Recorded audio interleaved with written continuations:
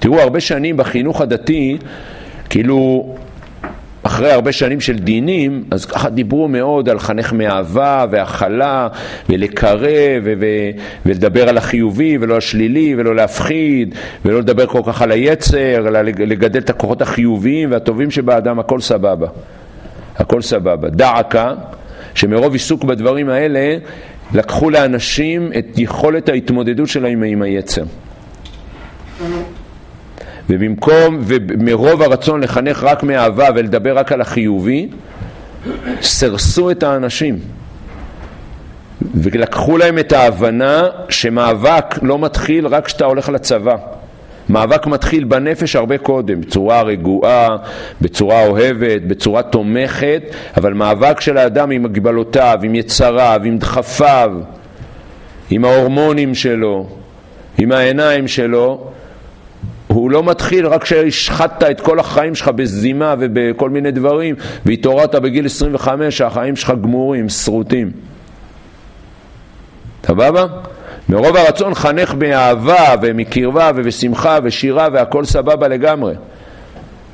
אצל רב צדוק שהיה חוסיד, חוסיד חוסיד, מתמשקה, ונדניגונים והכל. וגם אצל בעל התניא. לא צריך להפוך את יצר הרע לחזות הכל, אבל את היכולת להתגבר ואת ההבנה ש, שמפתח לחירות של פסח היא במאבק המתמשך של שבט נגד הזללנות והאכילה וטיפוח הגוף השלילי שלנו. ובהדר המאבק עם היצר ובהדר ראשון והדר שני מאבק עם היצר והברית ושמירת העיניים וכולי וכולי וכולי זה דבר בסיסי, על כן בשאר השנים אחר שבט שנוצר בצדיק שהעסק בו לתקן הפגם מתברר מדעת צדיק סוד עולם את גיבור זבש צרור, בגלל הערכתי בזה. כאילו זה נעלם מהחיים שלנו היום. רק שהבן אדם כבר מרוסק מהאינטרנט ומהפה ומהנפילות שלו עם הזה והוא חושב ללכת לישיבה ומכינה מצליח, מתחיל לתפוס את עצמו וואלה מתחיל ללמוד תורה אומר וואי וואי וואי וואי אחי מה עשיתי? יאללה לך תשפץ עכשיו את כל השטויות שעשית בתיכון. השם ירחם ויעזור ויושיע ויגן. רחת עלינה, מה שנקרא. זה עבודה, בסדר, איך מכניסים אותה בחינוך בצורה רגועה, בצורה נעימה, בצורה שאדם לא כל הזמן לחוץ מהגוף שלו ומהיצרים שלו והכל, והוא רואה את הגוף ואת יצר ה... ואת ה...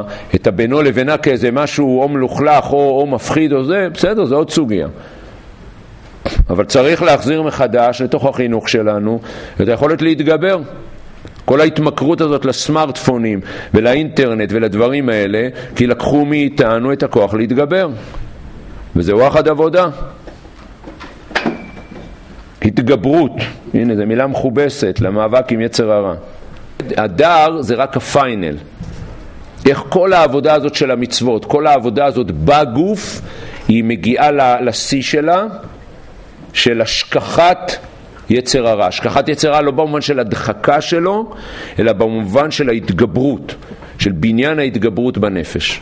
ותדעו לכם, זה לא רק, אה, בייחוד אצל ילדים, זה לא רק בהתגברות על יצר או לדבר רק על יצר, מה שקוראים יצר המין. זה לפתח נפשות שהן מתגברות. צריך לתת לילדים פרסים על כל התגברות. לא למכר אותם לפר, לפרסים, אבל כל דבר שהוא מתגבר, לחזק אותו ולחבר לו את ההתגברויות, כמו שהתגברת פה בשיעורי בית, אתה יכול להתגבר, כמו שהתגברת על הצעה רופא שיניים, אתה יכול להתגבר פה, כי לבנות נפשות מתגברות זה לבנות נפשות שהן מוכנות להילחם עם יצר הרע. שמוכנות להילחם עם יצר הרע, שהן לא מפחדות ממנו. שהן מוכנות להיות מודעות לחסרונות ולהילחם בהם. בסדר?